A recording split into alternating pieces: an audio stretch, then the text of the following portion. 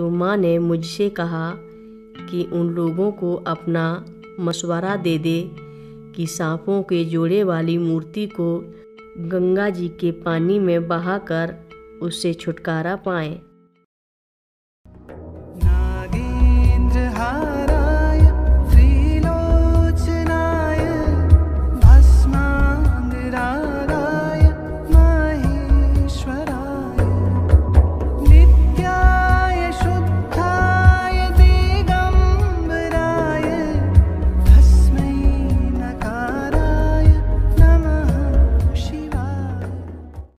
रक्षा सूत्र चैनल पर सभी भक्तों का स्वागत है।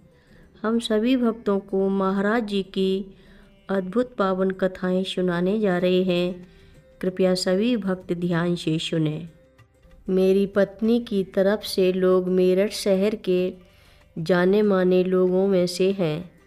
मेरे ससुर जी वैद्य थे और अपनी सादगी और ईमानदारी की वजह से मित्रों और मरीजों द्वारा बड़े आदर के साथ देखे जाते थे। आसपास के लोग उनसे आध्यात्मिक मार्गदर्शन के लिए भी आते थे, क्योंकि वे हनुमान जी के परम भक्त थे। मैं इस परिवार का दामाद हुआ तो इस कारण से उनके जानने वाले लोग मुझसे भी अच्छा बर्ताव करते थे। उनमें से एक सुरेश रस्तोगी भी थे, जिनका हैंडलूम करघे से बने वस्त्रों का व्यापार था।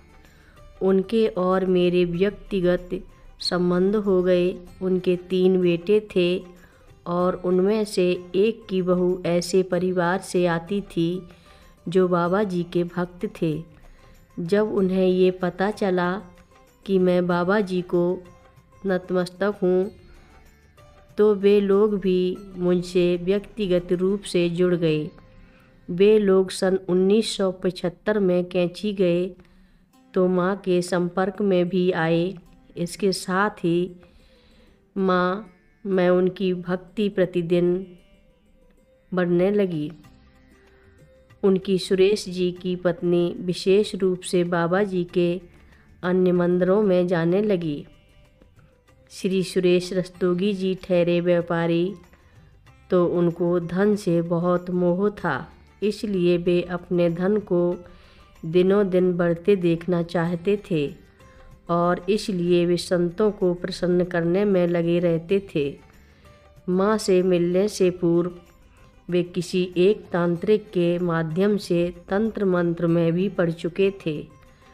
उस तांत्रिक ने उन्हें सांपों के जोड़े की एक चांदी की मूर्ति दी थी, जिनमें एक नर था और दूसरी थी मादा, और कहा कि इसको घर में रखने से धन, दिन दूना और रात चौगना बढ़ेगा। जब मेरी मुलाकात रस्तोगी भाई से हुई, उस वक्त भी ये चांदी की मूर्ति उनके घर में थी। पर इस बात का उन्होंने मुझसे कतई ज़िक्र नहीं किया वे भगवान को मानने के इरादे से इसके साथ ही और बहुत से स्थलों पर भी जाते रहते। श्री रस्तोगी भाई की ज़िंदगी में कहीं जाकर चीज़ें बिगड़ने लगीं, तब एक दोपहर को जब मैं माँ लोगों के साथ कार से ऋषिकेश से वृंदावन जा रहा था, मैंने माँ से प्रार्थना की कि आप कृपा करके रस्तोगी भाई के घर पर रुक कर उन्हें आशीर्वाद दे दें। माँ एकदम राज़ी हो गईं और इस प्रकार एकाएक माँ के पधारने से श्रीमती रस्तोगी बहुत प्रसन्न हुई।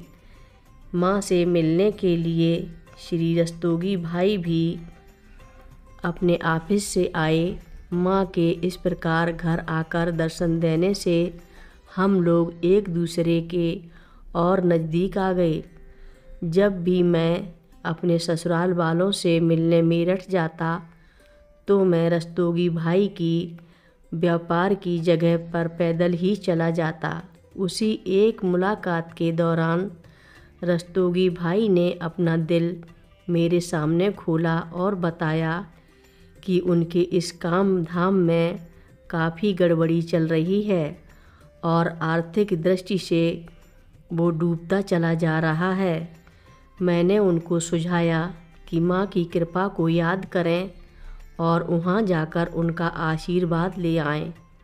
श्रीमती रस्तोगी ने एक अवसर पर माँ से आशीर्वाद की गुहार की तो माँ ने कहा, जब सब कुछ नष्ट हो गया है, तब तू मेरे पास मदद मांगने आ रही है कुछ थोड़ी देर चुप रहने के बाद वे श्रीमती रस्तोगी से बोली कि घर में रखी हुई उन सांपों के जोड़े वाली मूर्ति को फेंक आ।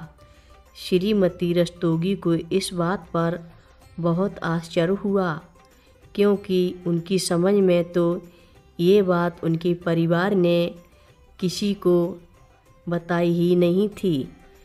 जब अगली बार मैं माँ से मिला तो माँ ने मुझसे कहा कि उन लोगों को अपना मशवरा दे दे कि सांपों के जोड़े वाली मूर्ति को गंगा जी के पानी में बहाकर उससे छुटकारा पाएँ।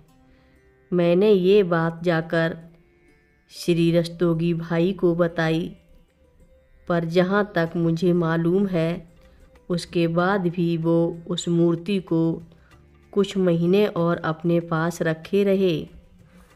कथा लंबी है, आगे की कथा सभी भक्तों को अगले भाग में सुनाएँगे।